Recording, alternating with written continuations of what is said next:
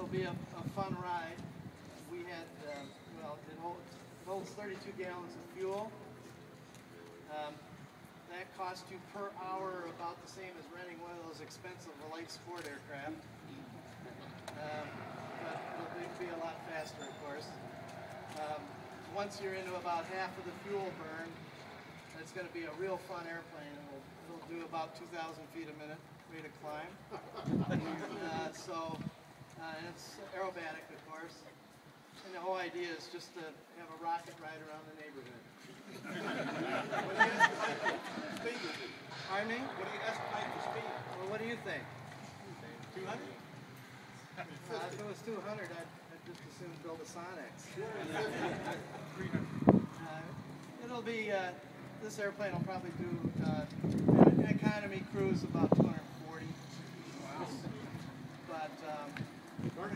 Let me tell you a little bit about the history. Uh, uh, we had looked at engines years ago, and uh, uh, they were quite expensive. And this is basically a big model airplane engine. Yeah.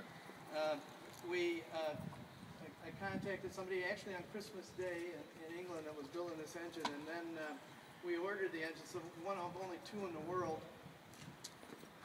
But the, the, issue was that they didn't have a, uh, an engine control unit an ECU.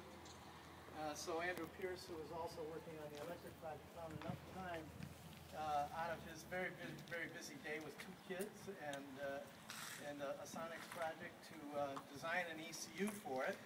So we're in that now stage where we're, we're going to be doing some testing.